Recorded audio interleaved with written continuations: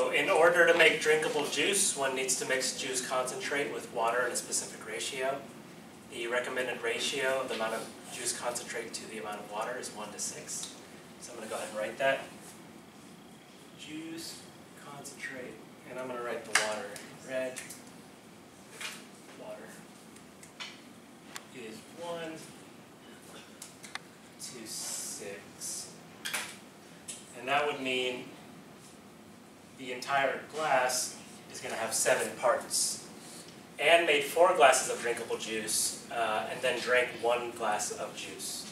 She found the drinkable juice too watery, so she added a third of the glass of juice concentrate to the leftover dr drinkable juice. What is the ratio of the amount of juice concentrate to the amount of water in the drinkable juice now? Um, so I like to go ahead and model it over here. So we're going to have one part concentrate and six parts water.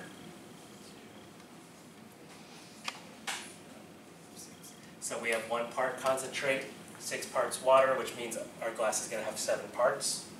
And I'm going to go ahead and start drawing our glasses.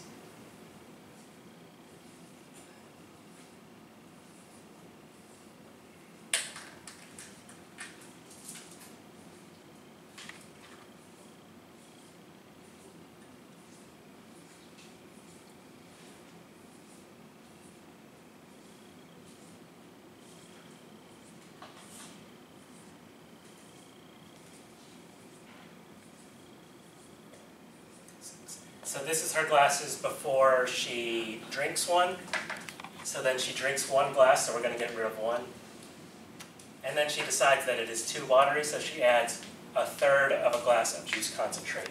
So a glass is seven parts, and she's only going to add a third. So seven divided by three is two and a third.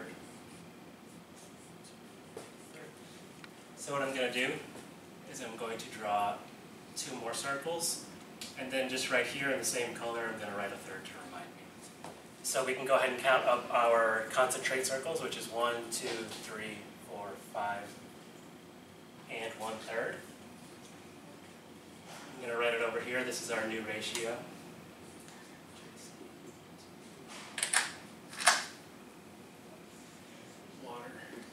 And to find out how much water we have, we just count up our circles here, which is going to be 18.